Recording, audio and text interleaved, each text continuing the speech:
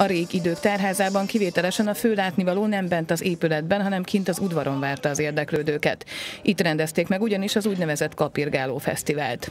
Az az igazság, hogy ez ilyen kétlábú jószágoknak a versenye. Tehát magyarul, amit főzünk, az is két láb, aki főzi, az is. Tehát csirke, paulika, kacsa, egyéb ilyen dolgokból.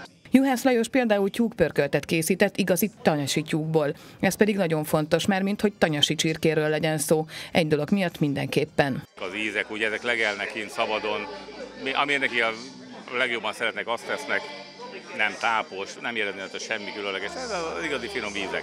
Lassabban föl meg ugye, mert nem mai gyerekek, illetve nem mai lányok, mert tyúkokról beszélünk, de nagyon finomat. Már a rendezvény kezdetekor incsiklandó illatok lengték be az udvart, ám a kóstolás még váratott azért kicsit magára. A recepteket, főleg azokat, amelyekkel már mondjuk nyertek is a szakácsok korábban, általában szigorúan őrizték. Így tett Kónya István is, aki Kecskemétről érkezett, és most éppen zúza pörköltel készült. Kecskemét környékén általában én szoktam nyerni, Ceglét környékén az unokabátyám a Juhász Lajos. Minden környéknek, tájegységnek megvan a maga sajátossága, nincs ez másként feléjük sem. Kakas főzőverseny. Most éppen az van a Szelei faluba, csak ott már nem tudok megjelenni, mert már háromszor megnyertem, és elég volt.